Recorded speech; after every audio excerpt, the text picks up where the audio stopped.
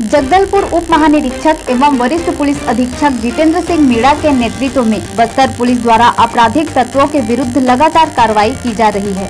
इसी तारतम्य में जगदलपुर शहर अंतर्गत दो अंतर्राज्यीय मोटरसाइकिल चोर को बस्तर पुलिस की मुस्तैदी से चोरी करते रंगे हाथों पकड़ने में बस्तर पुलिस को सफलता मिली है।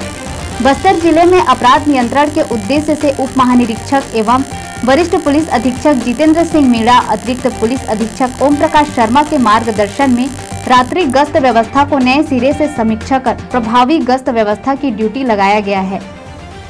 एक दिन पूर्व दो चोरों के द्वारा रात्रि में बालाजी वार्ड में मोटरसाइकिलों की चोरी किया जा रहा था।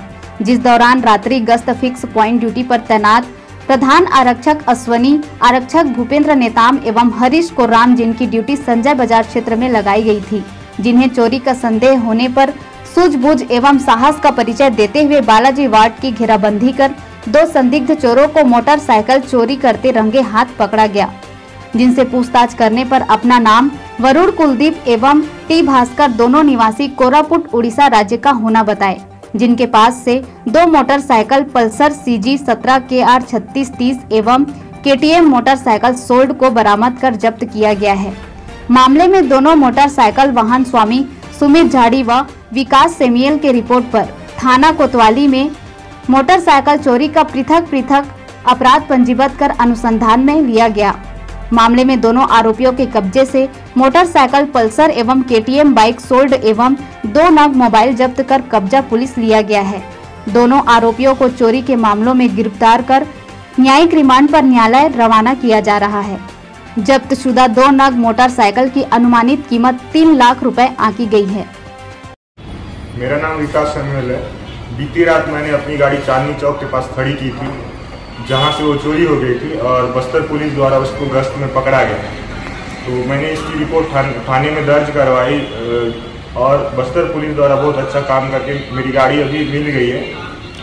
पुलिस के काम से बहुत खुश हूँ।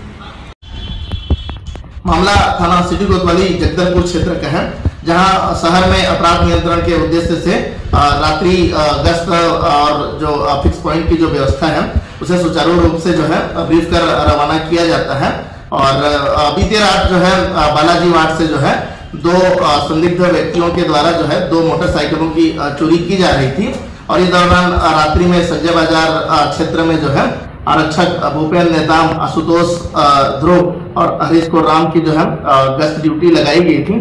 जिन्हें चोरी का अंदेशा होने पर इनके द्वारा जो है, बालाजी वार्ड क्षेत्र में जो है घेराबंदी कर जो है चोरी करते हुए दो व्यक्तियों को जो है रंगे हाथ पकड़ा गया है। जिनसे पूछताछ करने पर इनके द्वारा अपना नाम वरुण कुलदीप और टी भास्कर, दोनों निवासी कोरापुट क्षेत्र का होना बताया गया। और जिनके पास से जो है दो मोटरसाइकिल, जिनमें एक पल्सर वाहन और दूसरा केटीएम वाहन जो है, चोरी करके ले जाया जा रहा था। और इस मामले में इस मामले के जो वाहन स्वामी हैं, उनकी ओर से पृथक पृथक थाना कोतवाली में जो है चोरी संबंधी अपराध दर्ज कर अनुसंधान में लिया गया है। और दोनों आरोपियों के कब्जे से जो है दो मोटरसाइकिल, जिनमें पल्सर और एक केटीएम है, साथ में दो नग मोबाइल जो है, बरामद कर जब्त किया गया है। मामले में जब शुदा वाहनों की अनुमानित कीमत तीन लाख रुपए आकी गई है। मामले में दोनों आरोपियों को जो है, गिरफ़्तार कर न्यायिक रिमांड पर न्यायालय रवाना किया जा रहा है। फ़िलहाल मामला थाना कोतवाली के अंतर्गत विवेचनाधीन है। बी ट्वेंटी न्यूज़ के लिए जगदलपुर से धीरज मेहरा की रिपोर्ट।